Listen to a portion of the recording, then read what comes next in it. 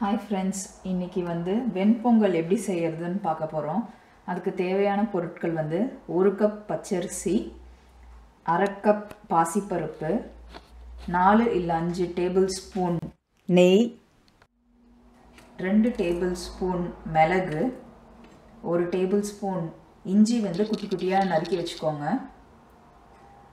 Half spoon பெருங்காயம் கொஞ்சம் கருவேப்பிலை மூணு டேபிள் ஸ்பூன் முந்திரி ஒரு ஸ்பூன் ஜீரகம்.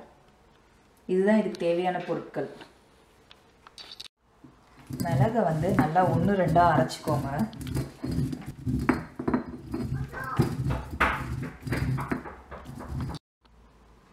இந்த மாதிரி நல்லா ஒன்று ரெண்டாக பண்ணி வச்சுக்கோங்க மிளகை.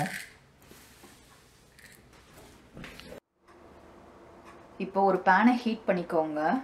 ஹாஃப் கப் பாசிப்பருப்பு ஆட் பண்ணிவிட்டு ரெண்டு நிமிஷம் லோ ஃப்ளேமில் வறுத்துக்கோங்க. இப்போ நல்லா ஒரு ரெண்டு நிமிஷம் வறுத்து முடிச்சிட்ட உடனே இதை வந்து இந்த கிண்ணத்தில் கொட்டிக்கலாம். இப்போ இதே பேனில் ஒரு கப்பு பச்சரிசியும் ஒரு ரெண்டு நிமிஷம் வறுத்துக்கலாம்.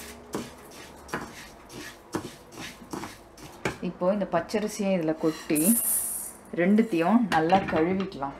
ஒரு கப் தண்ணி ஆட் பண்ணிவிட்டு அரிசியும் பருப்பும் நல்லா கழுவி அலசி எடுத்துக்கலாம். இப்போது குக்கரை ஹீட் பண்ணிக்கோங்க.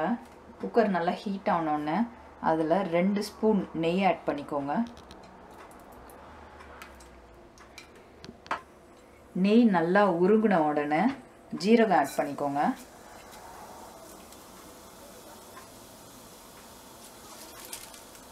கருவேப்பிலை போட்டுக்கலாம்.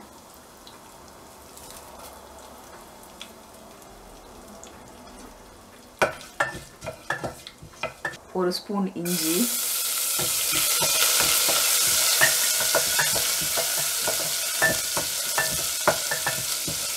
கால் ஸ்பூன் பெருங்காயம். அரிசியும் பாசிப்பருப்பும் கழுவி வச்சதை ஆட் பண்ணிக்கலாம்.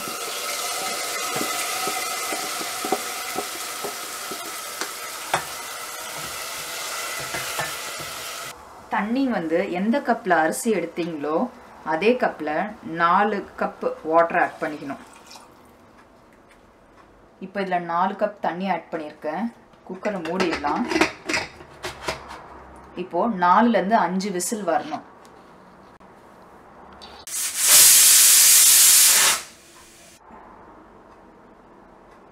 அஞ்சு விசில் ஆயிடுச்சு. ஓப்பன் பண்ணி பார்க்கலாம். பொங்கல் நல்லா குழஞ்சி வந்திருக்கு. ஒரு பேனை ஹீட் பண்ணிக்கோங்க. அதில் வந்து ரெண்டு டேபிள் ஸ்பூன் நெய் ஆட் பண்ணிக்கோங்க.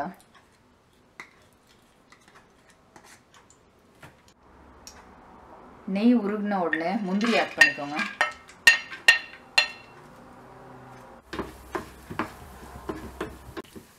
இதிலே ஒன்று ரெண்டாக உடச்சி வச்சுருக்க மிளகும் ஆட் பண்ணிக்கோங்க.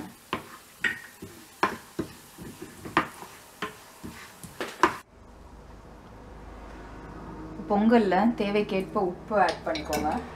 ஆட் பண்ணிவிட்டு முந்திரி மிளகு வறுத்து வச்சுருக்கிறத இதில் கொட்டி கலரிக்கலாம்.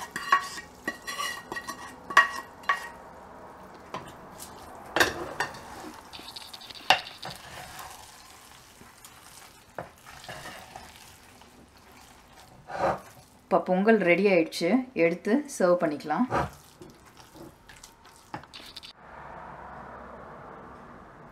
சுவையான வெண்பொங்கல் தயாராகிடுச்சு நீங்களும் உங்கள் வீட்டில் ட்ரை பண்ணுங்கள் உங்களுக்கு பிடிச்சிருந்ததுன்னா கிராண்ட் சமையலுக்கு சப்ஸ்கிரைப் பண்ணுங்கள் தேங்க்யூ